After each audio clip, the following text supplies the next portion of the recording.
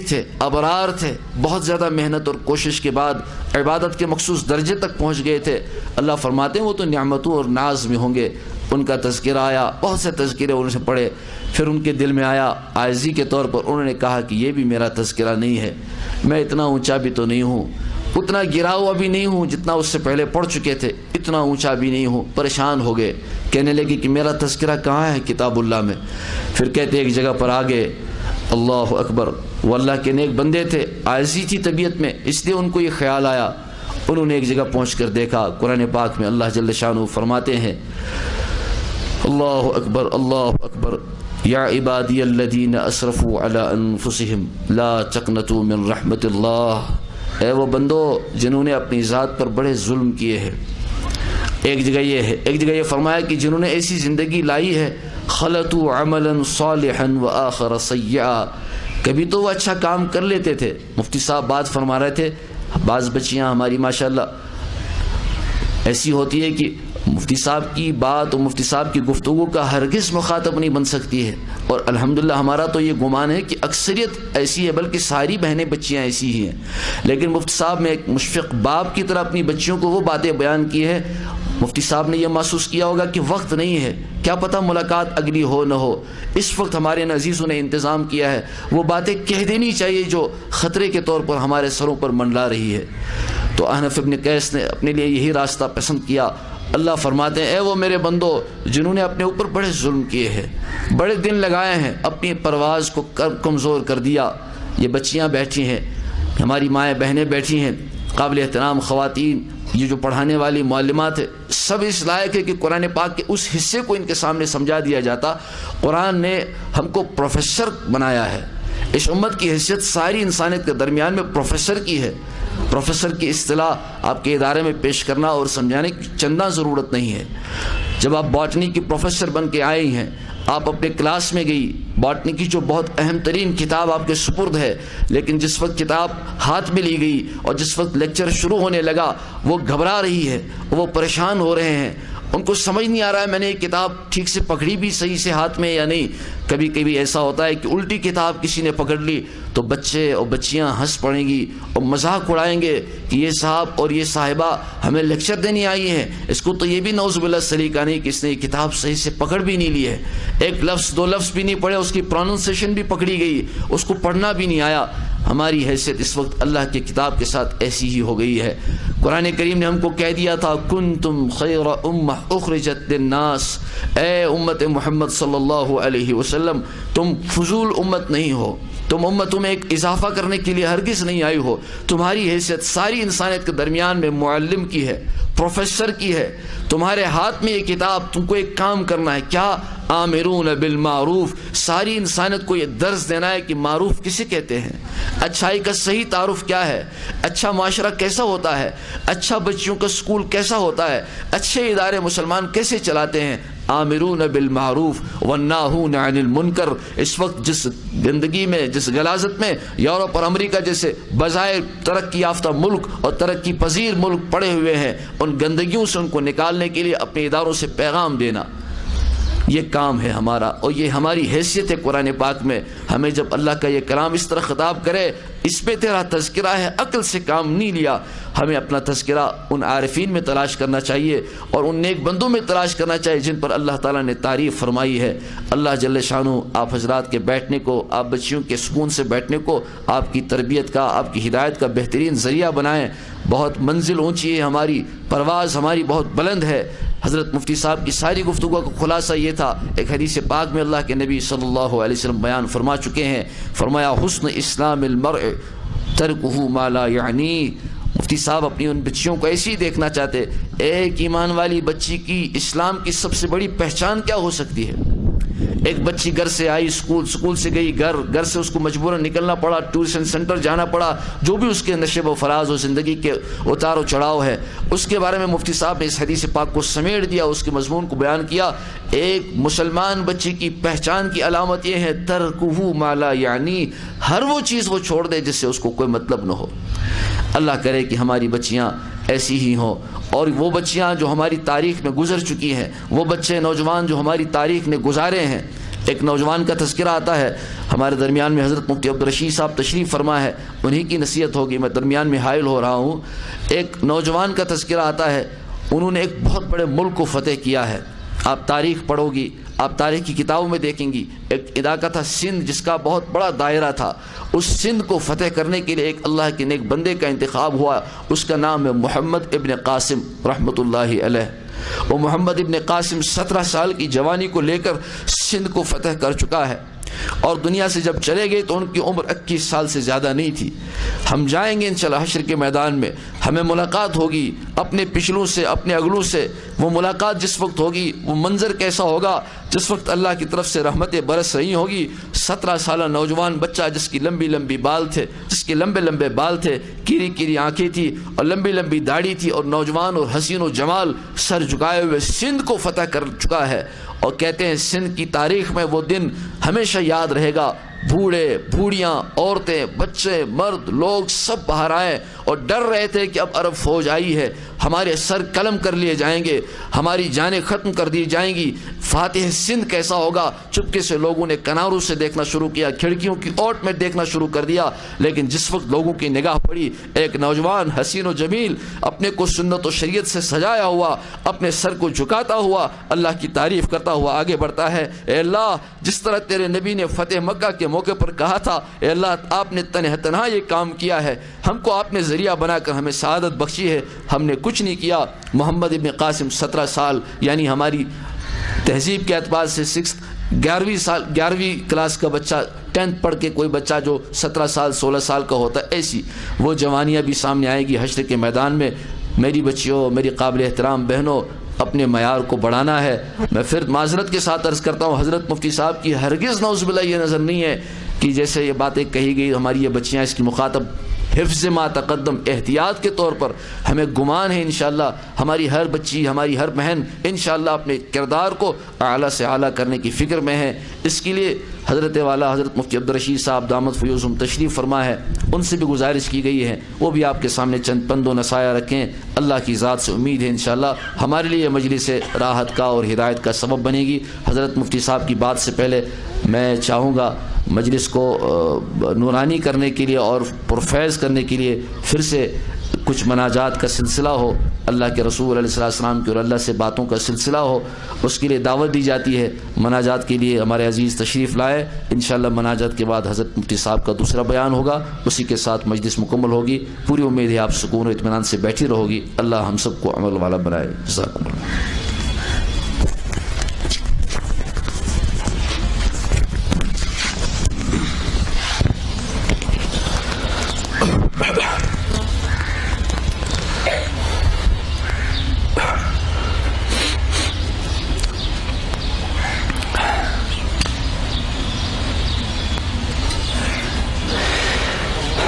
मैं तेरे सामने।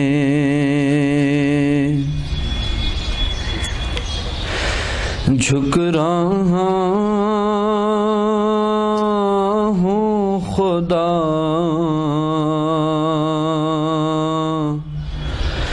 मैं तेरे सामने मैं तेरे सामने। झुक रहा हूँ खुदा। मेरा कोई नहीं। अल्लाह तेरे सिवा मैं तेरे सामने सामने।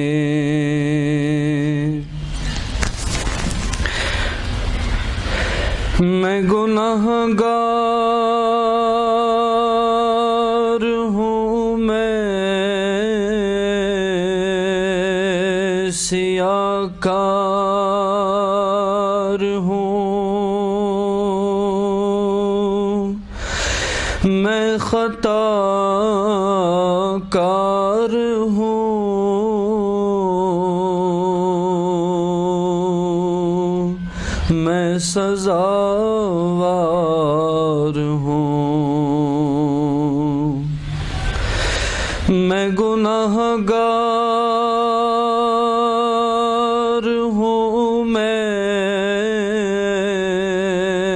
मैं सियाकार हूँ। मैं खताकार हूँ। मैं सजावार हूँ मेरे सजदों में तेरी ही हम सना मेरा कोई नहीं। अल्लाह तेरे सिवा मैं तेरे सामने मैं तेरे सामने।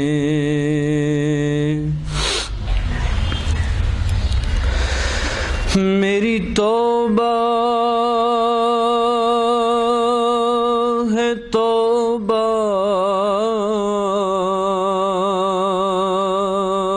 है मेरे इला मुझ गुनाहगार को तू न देना सजा। मेरी तौबा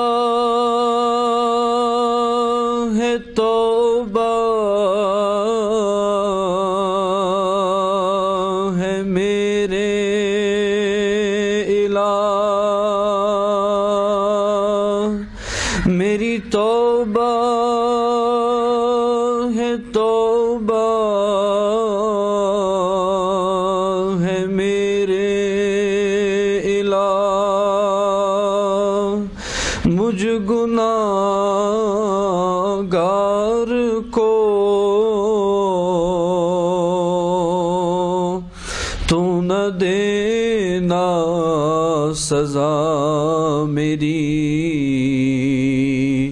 आहों को सुन। मेरी आहों को सुन ले ए हाजत रवा।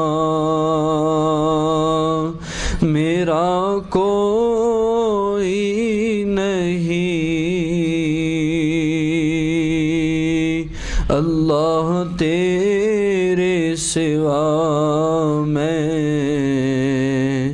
तेरे सामने मैं तेरे सामने।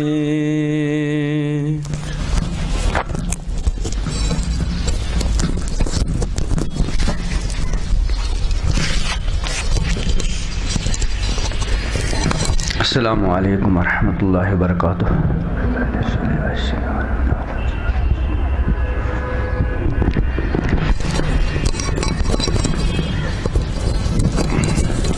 वबरकातुह अल्हम्दुलिल्लाह कफ़ा वसलाम अला इबादिहिल्लज़ीन इस्तफ़ा अम्मा बाद क़ाल अल्लाह तबारक व तआला अऊज़ु बिल्लाहि मिनश शैतानिर रजीम बिस्मिल्लाहिर रहमानिर रहीम व अम्मा मन खाफ मकाम रब्बिह व नहन नफ्स अनिल हवा फ़इन्नल जन्नत हियल मावा व क़ाल नबी सल्लल्लाहु अलैहि वसल्लम अल कय्यस मन दान नफ्सह व अमिल लिमा बादल मौत वल आजिज मन अतबा नफ्सहु हवाहा व तमन्ना अल्लाह औ कमा क़ाल अलैहि सलातु वस्सलाम सदक़ल्लाहु मौलाना अज़ीम व सदक़ रसूलुहु नबीयुल करीम व नहनु अला ज़ालिक मिन शाहिदीन व शाकिरीन वल्हम्दुलिल्लाहि रब्बिल आलमीन अल्लाहुम्मा सल्लि अला सय्यिदिना मुहम्मद व अला आलि सय्यिदिना मुहम्मदिन व बारिक व सल्लिम अल्लाहुम्मा सल्लि अला सय्यिदिना मुहम्मद व अला आलि सय्यिदिना मुहम्मदिन व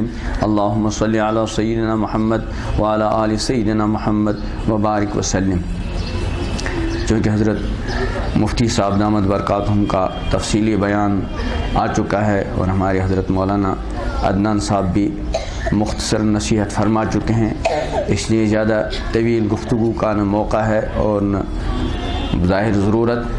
इसलिए अल्लाह ताला के पाक कलाम की दो आयतें मैंने तिलावत की कि तीन आयतें और इमामबिया हज़रत महमद अरबी सल्लल्लाहु अलैहि वसल्लम का एक इरशाद पड़ा है। इन्हीं आयात की रोशनी में और इसी आपके मुबारक इरशाद की रोशनी में जो कुछ अल्लाह ताला जिल में डालेंगे, मैं गुजारिश करूँगा और हम सब नियत करेंगे कि इन जो कुछ सही बात कही जाएगी, उस पर अमल करेंगे। चाहता तो हर बंदा और चाहती हर बंदी है कि हम एक बन जाएँ। कोई दुनिया में शायद ऐसा हो जो ये चाहता हो कि मैं बुरा बनकर ज़िंदगी गुजारूं। कोई ऐसा नहीं चाहता। सब चाहते हैं कि हम अच्छे बनकर ज़िंदगी गुजारें। हमारी दुनिया भी ठीक बने और हमारी आखरत भी ठीक बने। लेकिन अक्सर बेशतर ये मामला सिर्फ़ तमन्ना तक रहता है एक आदमी की तमन्ना होती है, एक बच्चे की, एक बच्ची की तमन्ना होती है कि मैं नेक बनूं, मेरी दुनिया भी ठीक बने और मेरी आखरत भी। लेकिन याद रखें, महज तमन्नाओं से कुछ नहीं होता, बल्कि इमामबिया हज़रत महमद अरबी सल्लल्लाहु अलैहि वसल्लम की इस हदीस का ख़ुलासा तो ये है, जो आदमी कुछ किए बग़ैर अच्छा बनने की तमन्ना रखे, ये इसी बेवकूफ़ी है। इन्हें करता तो कुछ है ही नहीं, और तमन्ना रखता है अच्छा बनने की। पैगंबर आसमाम के इस इरशाद में जो मैंने अभी पढ़ा, इसके अंदर उसको बेवकूफ़ करार दिया गया। इसलिए तमन्ना के बजाय एक बंदे को और एक बंदी को सबसे पहले पुख्ता इरादा करना चाहिए कि कुछ भी हो, मुझे इन ऐसा बनना है कि मेरी दुनिया भी ठीक बन जाए और मेरी आखरत भी ठीक बन जाए। सबसे पहले इरादा। मैं उम्मीद रखता हूँ मेरे सामने जितनी भी बच्चियाँ हैं और जितनी भी बहनें हैं, सब इरादा करेंगे ये नहीं, बल्कि बस इरादा कर लिया है कि आज के बाद हम इस तरह से ज़िंदगी गुजारेंगे कि हमारी दुनिया भी ठीक बने और हमारी आखिरत भी। इसीलिए कुरानी मुक़दस ने जो है, इन कुरानी पाक के अंदर अल्लाह पाक ने दो सोचों को बयान किया है। एक सोच ये है कि कुछ भी हो हमारी दुनिया बन जावे, हमारी दुनियावी ज़िंदगी जो है मज़ेदार गुजर जावे। और एक सोच ये है कि हमारी दुनिया भी ठीक बने और हमारी आखरत भी ठीक बने। ईमान वालों की सोच ये होती है, हमारी दुनिया भी ठीक बने, हमारी आखरत भी। इसलिए कुरान ने इन दोनों सोचों को एक जगह बयान किया हमिन नाशि मैं यकूल रब्बना आतिना फिर दुनिया वमाल फिल आखिर खलाक। के लोगों में कुछ ऐसे हैं जिनकी सोच ये है कि भाई हमें अल्लाह हमें जो कोई देना हो दुनिया में दे। अल्लाह फरमाते उनके लिए आखिरत में कुछ नहीं। क्योंकि उनकी सोच ये कि कुछ भी हो, हमारी दुनिया बन जावे। और एक सोच ये कि नहीं, हमारी दुनिया भी बने और हमारी आखरत भी। इसलिए फरमाया वमिन हम मई यकूल रब्बना आतिना फिर दुनिया हसना वफ़िल आखिरत हसना वकीना अजाबन्नार। लोगों में से कुछ ऐसे हैं जो ये कहते हैं, या अल्लाह, हमें दुनिया में भी बेहतरी आता फरमा और हमें आखरत में भी बेहतरी आता फरमा और हमें जहन्नम की आग से बचा। अल्लाह फरमा उलाम नसीब कसबू। उन्हें जो जो कुछ मेहनत की, वो रायगा नहीं होगी, वो ज़ाया नहीं होगी, उनकी कोशिशों की कदर की जाएँगी, की जाएगी। तो हम इरादा करेंगे। अब इरादे के बाद दूसरा मरहला होता है अमल का। बंदा अमली कदम उठाए। अभी मैंने कहा, चाहता तो हर कोई कि मैं हम अच्छे बने, हमारी दुनिया भी ठीक बने, हमारी आखरत भी ठीक बने, लेकिन सिर्फ़ तमन्ना। मैंने भी गुजारिश की कि कुछ किए बगैर तमन्ना रखना बेवकूफ़ी है। इसलिए हम बेवकूफ़ न बने। बल्कि सबसे पहले ये इरादा करें और पुख्ता इरादा करें, कुछ भी हो, हम इस तरह से ज़िंदगी गुजारेंगे, हमारी दुनिया भी अच्छी बने और हमारी आखरत भी। अब उसके लिए करना क्या है? कुरानी पाक ने दो चीज़ें इस आयत के तीन आयत के अंदर इशाद फरमाई। सबसे पहले ये कि एक बंदा और एक बंदी की इस ज़िंदगी के अंदर एक सोच हो और उस सोच के साथ वो इस दुनिया में जिए। वो सोच क्या है कि हर बंदा और हर बंदी इस सोच के साथ जिए। एक वक्त ऐसा आने वाला है और यकीन आने वाला है। हमारे ईमान का अहम तरीन हिस्सा है। एक वक्त ऐसा आने वाला है, हम सबको अपने रब की बारगाह में खड़ा होना है। होना है ना इन है ना? हमारा ईमान है, हम सबको खड़ा होना है। लेकिन याद रखें पुरानी पाक ने दूसरी आयात के अंदर खड़े होने वालों की दो जमातें बयान की। एक वो अल्लाह के बंदे और एक ऐसे अल्लाह की बंदियाँ, अल्लाह ताला हमें उनमें से न बचाएँ, न बनाएँ। अल्लाह ताला उनके, उन जैसा बनने से अल्लाह ताला हमारी हिफाज फरमाएँ, जो अल्लाह की बारगाह में मुजरिम बनकर खड़े होंगे। कुरान ने साफ़ फरमाया इन नहू मैं यात रब मुजरिमा। जो कोई रब की बारगाह में मुजरिम बनकर खड़ा होगा, उसका अंजाम क्या है? फरमाया फ़िन लहू जहन्नम। कोई शुबह नहीं। बल्कि बिल यकीन उसके लिए जहन्नम है। एक तो इस तरह खड़े होने वाले, अल्लाह ताला हमें ऐसों में न बनाए। और दूसरे कौन है? वमन ही मुमिन कद जो अल्लाह की बारगाह में हाजिर हुआ ईमान के साथ और आमाल साल के ज़ख़ीरे के साथ, अल्लाह फरमाते हैं, मुख्तर अल्फाज में फ़ौलादराजातला उनके लिए जन्नत के बुलंद दर्जात हैं। जन्नत क्या है? उसको तो बयान, ज़िंदगी भर आदमी बयान करता रहे, नहीं कर सकता। अल्लाह ताला ने दो लफ्ज़ों के अंदर जन्नत का खुलासा बयान किया। क्या फरमाया जन्नत के लिए? वलकुम फ़ी हा मा तश्तही अनफुसकुम। जो तुम्हारा जी चाहेगा, वो सब का सब मिलेगा। जो तुम्हारा जी चाहेगा, वो सब का सब मिलेगा। वलकुम किया तदऊन। और जो तुम मुतालबा करोगे, तुम्हारा हर मुतालबा पूरा किया जाएगा। मुख्तसर अल्फाज में, तुम्हारी हर ख्वाहिश पूरी की जाएगी और तुम्हारा हर मुतालबा पूरा किया जाएगा। तो सबसे पहली चीज़ क्या? कि इस एहसास के साथ और इस यकीन के साथ जिए कि एक वक्त ऐसा आने वाला है, हमें अपने रब की बारगाह में खड़े होकर अपनी ज़िंदगी का हिसाब देना है, अपनी जवानी का हिसाब देना है, अपनी कमाई का हिसाब देना है, अपने खर्च का हिसाब देना है और जो है अपने इल्म का हिसाब देना है। ये सोचने की बात है। एक होता है किसी चीज़ का करना और एक है एक सोच को अपनी ज़िंदगी में जगह देना। ये सोच जो है, इसको अपनी ज़िंदगी के हर हर शोबे में जगह देना है। जब कोई बंदा इस सोच को अपनी ज़िंदगी के अंदर और ज़िंदगी के हर हर शोबे के अंदर जगह देता है तो उसके लिए दुनिया में इस तरीके से ज़िंदगी गुजारना, जिस तरह अल्लाह चाहते हैं, जिस तरह इमामबिया हज़रत मोहम्मद अरबी अलैहि वसल्लम चाहते हैं और जिस तरह से ज़िंदगी गुजार कर बंदे और बंदी की दुनिया भी बेहतर बनती है आखरत भी बन बेहतर बनते हैं वो उसके लिए आसान हो जाते हैं। इसलिए सबसे पहले हम इस सोच को अपनी ज़िंदगी में जगह देंगे इन और दूसरी बात और मेरी असल बात का जो मदार है वो इसी पर है। इस, इस, बात को ज़रा तवज्जो से सुने। हमारा सबसे बड़ा दुश्मन जिसको हम में से शायद कोई दुश्मन समझता हो वो हमारा नफ्स अल्लाह ताला ने अबदी कामयाबी अबदी कामयाबी का मदार ही इस नफ्स दुश्मन की मुखालफत रख, पर रखा। दुनिया में कोई भी ऐसा दुश्मन नहीं कि जो हमेशा दुश्मन रहे। बहुत मरतबा ऐसा होता है कि इंसान को अपने दोस्त और दुश्मन के पहचानने में गलती हो जाती है। जो उसके लिए दुश्मन है, उसको दोस्त समझ रहा है। अभी हमारे हज़रत मुफ्ती साहब, दामद बरकत ने कुछ साफ़ वाज अल्फाज में कुछ गुजारिशात अपनी बहनों, अपने और हमारी बच्चियों के सामने रख दी हैं। ये जो आजकल की अक्सर दोस्तियाँ होती हैं, इंसान समझता तो इनको दोस्ती, लेकिन दर ये दुश्मनी है। और याद रखें, दोस्ती का मामला बड़ा नाजुक है। कुरान ने इस बारे में बिल्कुल वाज अल्फाज में इरशाद फरमाया कि बाज़ दोस्त ऐसे होंगे बाज़ दोस्त ऐसे होंगे हर आदमी अपने बारे में अब और अपनी दोस्ती के बारे में अपने ताल्लुक़ के बारे में अपना मुहासबा करे। कि बाज़ दोस्त ऐसे होंगे कि उनकी दोस्ती का अंजाम क्या होगा कि कल क़यामत के दिन अल्लाह ताला की बारगाह में खड़े होकर इंसान अपने दांतों से अपने अपना गोश्त नो, नोचेगा अपने हाथ काटेगा। कुरान ने फरमाया वयाउम या अब्ज़ालिम जालिम अपने दांतों से अपने हाथ काटेगा। वयकूल या लई तनितखल तुम्हार रसूल सबीला।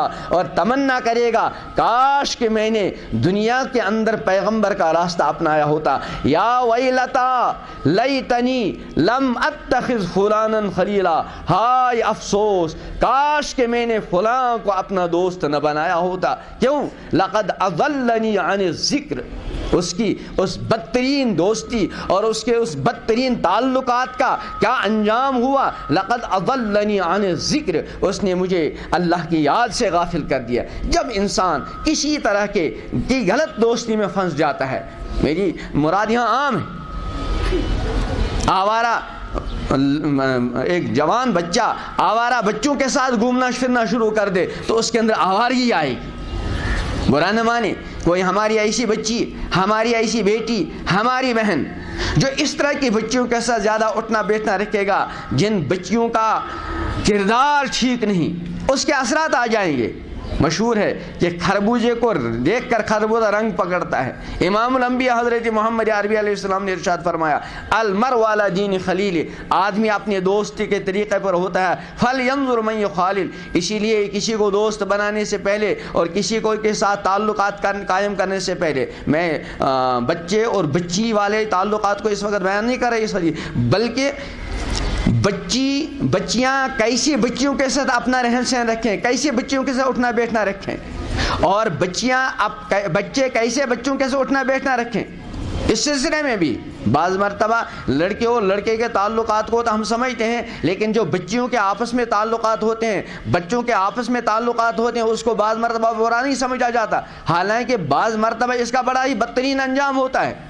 इमामबिया मोहम्मद अरबीम ने इरशाद फरमाया अलमर वाला दीन खलील, आदमी अपने दोस्त के तेरे पर होता है, फल यंजुरमय खालिल इसलिए चाहिए कि किसी को दोस्त बनाने से पहले देख ले, कैसे को दोस्त बना रहा है।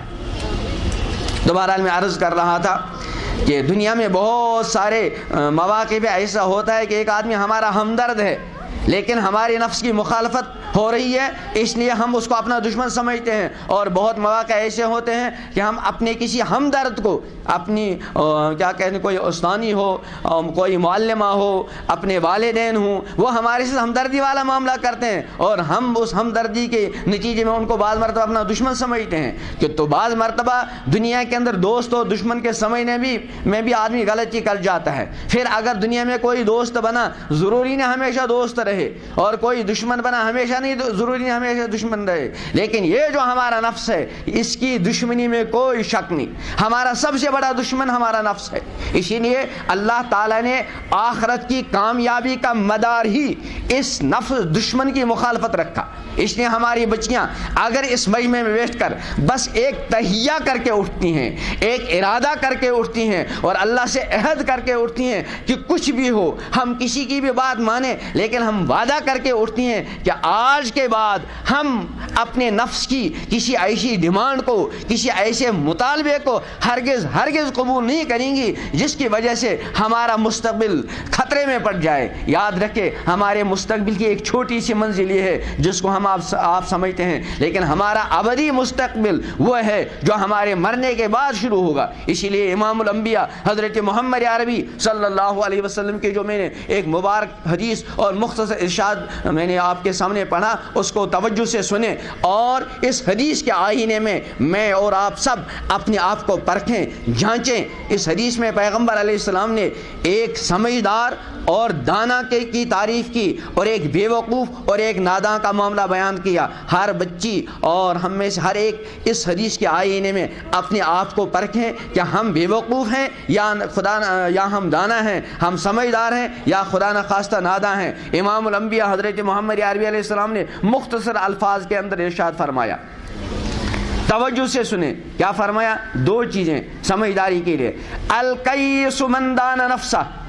समझदार वह है जो अपने नफ्स को कंट्रोल में रखे। मैं अक्सर अर्ज़ किया करता हूँ, एक मिसाल समझा कर गाड़ियाँ होती हैं मुख्तलिफ़ कस्म की। उन गाड़ियों के अंदर बेशुमार पुर्जे होते हैं। वो पुर्जे गाड़ी बनाने वाले इसने इस अंदाज से फिट किए हुए होते हैं। जब गाड़ी चलाने वाला ड्राइवर अपनी सीट पर गाड़ी चलाने के लिए बैठता है तो उसको गाड़ी के हर पुर्जे को कंट्रोल में रखने की ज़रूरत नहीं पड़ती। वो फिट ही ऐसा क्यों होता है कि गाड़ी चलाने वाला चंद पुर्जों पर अगर उसने कंट्रोल कर लिया तो सारी गाड़ी उसके कंट्रोल में आ गई और गाड़ी चलाने वाला, गाड़ी और गाड़ी के अंदर दीगर सवार अपनी मंजिल तक पहुँच जाएँगे। लेकिन अगर ये चंद पुर्जे और इन पुर्जों में से कोई एक पुर्जा इस ड्राइवर के कंट्रोल से बाहर निकल गया, खुद ड्राइवर का को खतरा, गाड़ी को खतरा और गाड़ी के अंदर जितने सवार, वो सब खतरे में पड़ जाएँगे और उनकी मंजिल तक पहुँचने की उम्मीद ख़त्म हो जाएगी। अल्लाह पाक ने हमारे अंदर, हमारी हमारा ये जिसम, हमारी ये जो बाड़ी बनाई, इसके अंदर बेशुमार पुरजे बनाए। अभी हमारे हज़रत मुफ्ती साहब दामद बरकतुम फरमा रहे थे, इन पुरजों में से किसी पुरजे की कोई कीमत दुनिया में लगाई ही नहीं जा सकती।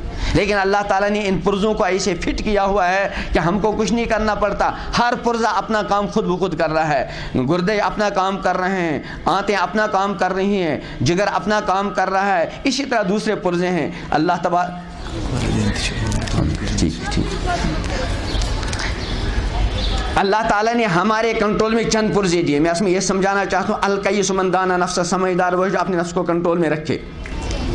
चंद पुर्जे दिए हैं। एक आँख का पुर्जा है। इसीलिए इस आँख के पुर्जे में मैं अक्सर गुजारिश किया करता हूँ, अल्लाह ताला ने जब नमाज़ का हुक्म दिया, रोज़े का हुक्म दिया, ज़क़़त का हुक्म दिया और दूसरे अकाम दिए, अल्लाह ताला ने वहाँ जो अल्फाज इस्तेमाल किए, जो सेगा इस्तेमाल किया, ग्रामर के एतबार से जब हम देखते हैं, वो जुमला और वो आर्डर, वो हुक्म मर्दों के लिए अकीमसला जब ग्रामर के एतबार से हम देखेंगे, ये अकीमसला इसका लफ्ज़ी तर्जुमा हम करेंगे ए मर्दो, नमाज़ कायम करो आतो ज़का ज़क़़त दो बज़ाहिर अल्फाज मर्दों के हैं। कुतबा अलैकुमुस्सियाम रोज़ा तुम पर लाजिम करार दिया गया, बज़ाहिर मर्दों के लिए। लेकिन जिम औरतें और ख़वातीन खुद ब खुद इसमें शामिल। लेकिन जब इन आँख के इस नाजुक और कीमती पुरजे के इस्तेमाल का मामला आया, अल्लाह ताला ने मर्दों को अलग हुक्म दिया और ख़वातीन को अलग हुक्म दिया।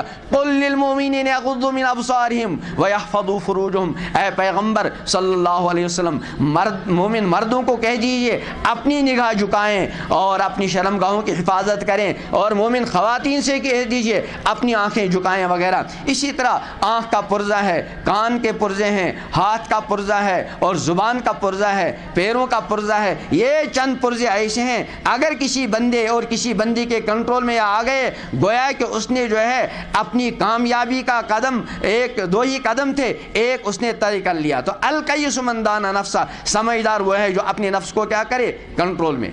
और दूसरी चीज़ जो इमामबिया हज़रत मोहम्मद अरबी ने इरशाद फरमाई, वो ये इरशाद फरमाया अलकईसमंदाना नफ्सा व बादल मौत। कि माँ बादल मौत की जो अबदी ज़िंदगी है, जो हमारा अवधि मुस्तबिल है, उस अवधि मुस्तबिल को संवारने में लग गया। ये तो है समझदार। नफ्स को कंट्रोल में रखे और अपने अवधि मुस्तबिल को संवारने में लग गया।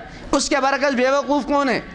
समझदारी का मदार भी नफ्स के कंट्रोल में रखने पर है। और बेवकूफ़ी और नादानी का जो मदार इमामबिया हज़रत मोहम्मद अरबी आसमाम ने रखा, वो इस नफ्स की आज़ादी पर। फरमाया, वल आजिज़, बेवकूफ़, नादान ना समझ कौन है? फरमाया, मन अतबा नफ्सहू हवाहा जो अपने नफ्स को कंट्रोल में रखने के बजाय अपने नफ्स की लगाम और इसकी महार को आज़ाद छोड़ दे।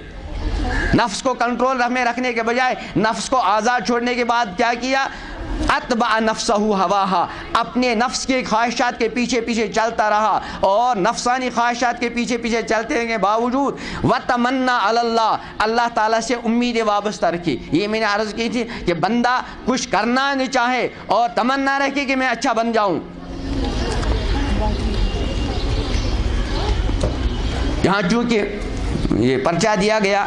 यहाँ सिर्फ़ बच्चियाँ ही नहीं, बल्कि बच्चियों की वालदाएँ और दीगर बहनें वगैरह भी होंगी। इसलिए इमामबिया हज़रत मोहम्मद अरबी आसमाम की एक हदीस उस सिलसिले में पढ़कर थोड़ी सी और बात गुजारिश करके अपनी बात को ख़त्म करता हूँ। पैगंबर करीम आसमाम ने इरशाद फरमाया, कुल्लुकुम राइन व कुल्लुकुम रही तुम में सारे एक राई है, निगहबाँ है। ज़िम्मेदार है और हर एक आप अल्लाह ताला की बारगाह में मसूल है, जवाबदेह है। मैं अक्सर एक गुजारिश किया करता हूँ, एक उर्दू की मसल पेश करके। वो उर्दू की मसल क्या है? मैं अपनी बच्चियों से गुजारिश करूँगा, थोड़ी देर खामोशी से रहें। वो उर्दू की मसल क्या है? कुछ पाने के लिए कुछ खोना पड़ता है। कि आदमी अगर कुछ हासिल करना चाहे तो कुछ हासिल करने के लिए पहले से कुछ लगाना पड़ता है। लेकिन कोई भी बंदा और कोई भी बंदी जिसके पास कोई चीज़ लगाने की हो, वो लगाने से पहले दस बार पहले सोचता है, ये जो चीज़, ये जो सरमाया मेरे पास मौजूद है, मैं इसको गोया के ख़तरे में डाल रहा हूँ, मैं इसको लगा रहा हूँ, लगाने के बाद उससे मुझे मिलेगा क्या? दस बार सोचता है। लेकिन अगर किसी मरहले पर हम इस सिलसिले में हमसे चूक हो जाती है, वो वो सरमाया, जो हमारा सबसे बड़ा सरमाया है, वो हमारी ज़िंदगी का सरमाया। इस ज़िंदगी के सरमाए को बंदा लगा रहा है, बंदी लगा रही है, लेकिन इस सरमाए को खोकर उधर से पाया क्या जा रहा है? इसके बारे में बहुत कम तवज्जो दी जाती है। मैं एक बात यहाँ ज़रूर अर्ज़ करूँगा और वही अर्ज़ करता रहता हूँ अक्सर जगह। ये अक्सर हमारी बच्चियाँ जो हमारे सामने, ये तो माशाल्लाह बाशोर बच्चियाँ हैं, समझदार बच्चियाँ हैं अपने नफ़े और नुकसान को पहचाने वाली बच्चियाँ हैं। इसलिए ये अपनी ज़ात के एतबार से तो मुकलफ हैं ही। लेकिन जब बच्ची और बच्चे बिल्कुल इब्तदाई मरहले में होते हैं, तीन साल की उम्र, चार साल की उम्र इस वक्त बच्चा और बच्ची अपने मुस्तबिल को समझ कर अपने मुस्तबिल के बारे में सोच कर अपने मुस्तबिल के बारे में कोई फ़ैसला ले सकते हैं। लेकिन जब बच्चा छोटा होता है, बच्ची छोटी होती है, वो मुस्तबिल को समझते ही नहीं। जब वो मुस्तबिल को समझते नहीं तो वह अपनी ज़िंदगी को खोकर क्या पाएँ, इसके बारे में कोई फ़ैसला खुद नहीं ले सकते। उनके बारे में फ़ैसला लेने का मुकम्मल इख्तियार उनके माँ बाप को होता है। मैं अक्सर गुजारिश किया करता हूँ और अक्सर मर्द में गुजारिश करने की नौबत आती है। इस वक्त हमारी बच्चियाँ हमारी बहनें हैं और ख़वान यहाँ मौजूद हैं, इसलिए इस वक्त ये बात अर्ज़ करता हूँ। अक्सर माँ बाप अक्सर घर के बड़े अपने बच्चों और बच्चियों के बारे में क्या फ़ैसला करते हैं? ज़िंदगी के सरमाए के बारे में। दो फैसले होते हैं। सबसे पहले, जब बच्चा तीन साल का हो गया, बच्ची तीन साल की हो गई माँ बाप ने फैसला कर लिया कि हम अपनी बच्ची की 25 से लेकर 30 साल ज़िंदगी के बारे में ये फैसला कर लेते हैं कि हमको बच्चे, हम अपनी बच्ची को एक बेहतरीन डॉक्टर की सूरत में देखना चाहते हैं। अपने बच्चे को एक बेहतरीन इंजीनियर बनाने की सूरत, इंजीनियर की सूरत में देखना चाहते हैं। उसके बाद फैसला करने के बाद इरादा करने के बाद फ़ौर अमली कदम उठाया। और अमली कदम किस, इस हद तक उठाया जाता है? आज अगर किसी तीन साल बच्चे का एडमिशन हो गया, किसी तीन साल बच्चे का एडमिशन हो गया, रात को एडमिशन हो गया, सुबह उनको स्कूल जाना है माँ बाप और घर के बड़ों ने एक फैसला किया हुआ होता है, एक पुख्ता इरादा किया होता होता, उस इरादे की अमली शक्ल फ़ौरन दूसरे दिन सामने दिखाई देती है कि वो बच्चा जो अभी तीन साल का था, जो कल तक नौ बजे उठने का आदि था। आठ बजे उठने का आदि था। अचानक आज चूँकि उसको पहली मरतबा स्कूल जाना है, फ़ौरन उसकी ज़िंदगी के अंदर एक अजीब गरीब इनकलाब आ गया, जो बज़ाहिर इस मासूम से बच्चे के लिए नाकबिल बर्दाश्त था। ये बच्चा भी मासूम है। आजकल की रात बिल्कुल छोटी, चंद घंटों की रात। बड़े की नींद पूरी नहीं हो पाती। एक मासूम बच्चे की नींद कैसे पूरी होगी? लेकिन चूँकि माँ बाप एक इरादा कर चुके हैं, हम अपने बच्चे, अपनी बच्ची को एक बेहतर डॉक्टर, बेहतर इंजीनियर और कुछ और बनकर देखना चाहते हैं। इसलिए बच्चा चाहे या न चाहे माँ बाप उस बच्चे को जो कल आठ बजे उठा था, आज चूँकि इसको स्कूल जाना है, आठ बजे के बजाय पाँच बजे अपने इस मासूम से बच्चे को उठाते हैं और स्कूल पहुंचाते हैं। सरकारी स्कूल मौजूद हैं, लेकिन माँ बाप सरकारी स्कूल के बजाय अच्छी फ़ीस देकर अपने बच्चों को किसी प्राइवेट अच्छे ऐसे तालीमी इदारे पर में उसका एडमिशन करवाते हैं, जहाँ के बारे में उनको इतमान हो कि यहाँ का तालीमी मैार बेहतर और बुलंद है, वहाँ अपने बच्चे को दाखिला कराते हैं। अब रोज़ का मामूल बन गया माँ बाप का अपने उस मासूम से बच्चे को सवेरे उठाते हैं, नहलाते हैं, धुलाते हैं और उसको कपड़े पहनाते हैं और उसको मुकम्मल तैयार करके गाड़ी का जो वक्त होता है, उस गाड़ी के वक्त के आने से पाँच मिनट पहले, दस मिनट पहले माँ बाप या घर का कोई बड़ा, उस छोटे से मासूम बच्चे या छोटी सी मासूम बच्ची का हाथ पकड़ कर जो है वहाँ जहाँ इंतज़ार गाह होती है, वहाँ इंतज़ार में रहा जूँ ही गाड़ी आ गई, बच्चे को गाड़ी में भर दिया और आप चले आए। तो ये मुसलसल इरादा किया माँ बाप ने अपने बच्चे के बारे में 25 साल लगाकर मैं बच्चे को डॉक्टर या इंजीनियर बनने के इंजीनियर की सूरत में देखना चाहता हूँ। उसके बाद जो ही वो डॉक्टर बन गया, अब माँ बाप की ये फ़िक्र होती है, जल्द अज जल्द मेरे बच्चे को ऐसी मुलाजमत मिल जाए, ऐसी तनख्वाह मिल जाए, ऐसी इज़्ज़त मिल जाए, ऐसी नौकरी मिल जाए। अब तीस साल उसमें हो गए, गोया कि माँ बाप जो अपने बच्चे के बारे में उसके सा, उसकी साठ साल ज़िंदगी के बारे में फ़ैसला करते हैं। एक ये कि मेरे बच्चे को डॉक्टरी की डिग्री मिल जाए और मेरे बच्चे को अच्छी से अच्छी तनख्वाह मिल जाए, अच्छी मुलाजमत मिल जाए अच्छा रोज़गार मिल जाए और लोगों की निगाहों में, उसको इज़्ज़त की निगाहों से देखा जाए। हम इस बात को मना नहीं करते। वक्त की ज़रूरत है। हम अगर किसी को कहें कि बच्चे न पढ़ें, ये तो बहरहाल इस ज़माने के अंदर एक वक्त की ज़रूरत बन चुकी है। इस वक्त मेरे कहने का मतलब जो मतलब है और मेरे कहने की जो गर्ज है कि माँ बाप का ये फैसला कि अगर सिर्फ़ इतना है तो ये बड़ा मुजरमाना फैसला है। मैं पढ़ने को मुजरमाना फैसला नहीं करता, कहता। कि अपने बच्चे को डॉक्टर बनाए, इसको मैं मुजरमाना फैसला नहीं कह रहा हूँ। अपने बच्चे के बारे में फ़िक्र की कि मेरे बच्चे को बेहतर रोज़गार मिल जाए, मैं इसको मुजरमाना फ़ैसला नहीं कहता। अपने बच्चे के बारे में तमन्ना की उसकी आमदनी अच्छी हो, इसको मैं मुजरमाना नहीं कहता।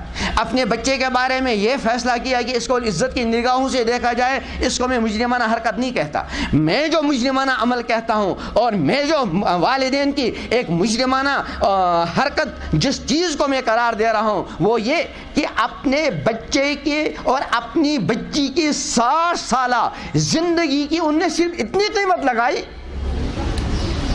अभी मैंने कहा था, कुछ पाने के लिए कुछ खोना पड़ता है। अब इसने पाई या एक बच्चे की डिग्री पाई और तीस साल, अट्ठाईस साल बच्चे ने मुलाजमत की, बच्ची ने मुलाजमत की, एक, दो, तीन, चार करोड़ रुपए पाए। तो गोया कि अपनी बच्चे की सारी ज़िंदगी की कीमत ये जो लगाई, ये माँ बाप के मुजरमाना अमल है माँ बाप का। मैं अक्सर गुजारिश किया करता हूँ, आप लाल चौक के अंदर कोई दुकान देखें। दुकान तो आजकल बिकती नहीं, किराया पे मिलती है। मिठाई के नाम से या पगड़ी के नाम से अच्छी जगह, अच्छी मार्केट हो, वहाँ दुकान की जो मिठाई मुकर की जाती है, वो बाद मरतबा दो दो तीन तीन चार चार करोड़ लगती है। तो एक माँ बाप ने अपने बच्चे के साथ बाज़ार बड़ा शफकत भरा मामला किया। उसको अच्छी अच्छे स्कूल में तालीम दिलाई, अच्छी कॉलेज के अंदर उसको डिग्री मिली, अच्छी मुलाजमत मिल गई। लेकिन इस सारे का खुलासा क्या मिला? इसने अपने बच्चे और अपनी बच्ची की ज़िंदगी की कीमत लाल चौक के अंदर एक दुकान की मिठाई के बराबर लगाई। बताओ ये मुजरमाना मामला है कि नहीं? अगर माँ बाप बच्चे के आर्जी मुस्तबिल को सामने रखने के साथ साथ अपने बच्चे और अपने बच्चे के अवधि मुस्तबिल को सामने रखकर फैसला कर लेते, फिर इस बच्चे का डॉक्टर बनना, इस बच्चे का डॉक्टर बनना, इस बच्चे का इंजीनियर बनना और कुछ भी बनना शरीयत के हदूद के अंदर, वो इसके लिए मुबारक होता। कब? जब बच्चे बच्चे के वालदेन ये फैसला करते जितना मैं अक्सर गुजारिश किया करता हूँ, अगर तीन साल बच्चा, चार साल बच्चा मुसलसल दो दिन तक स्कूल नहीं गया, मुसलसल दो दिन तक ट्यूशन नहीं गया, उस पूरे घर के अंदर बेचैनी पैदा होती है, पूरे घर की नींद उड़ जाती है, भूख उड़ जाती है।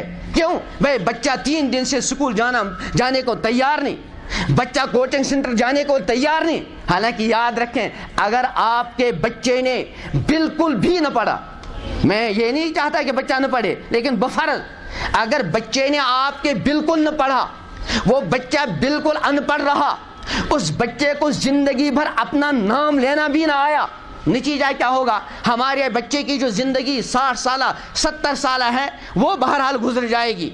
हाँ हम चाहते हैं कि हमारा बच्चा जो है डॉक्टर बनकर जिए, लेकिन हमारा बच्चा डॉक्टर बनकर जीने के बजाय एक मजदूर बनकर जिया, एक दुकानदार बनकर जिया, एक ताजर बनकर जिया। और फ़र्ज़ कर लो, सड़कों पर झाड़ू देने वाला बनकर जिया। साठ साल, सत्तर साल, लेकिन उसके बाद उसकी ज़िंदगी का खात्मा होगा। अब उसने ज़िंदगी भर सड़क का झाड़ू दिया, या ज़िंदगी भर वो वजारत उज़मा के अहदे पर रहा, न वो वजारत उज़मा उसके अवधि मुस्तबिल को संवारने में काम आएगी, और उसका झाड़ू देकर ज़िंदगी गुजारना उसकी आखरत के को तबाह करने का ज़रिया बन जाएगा।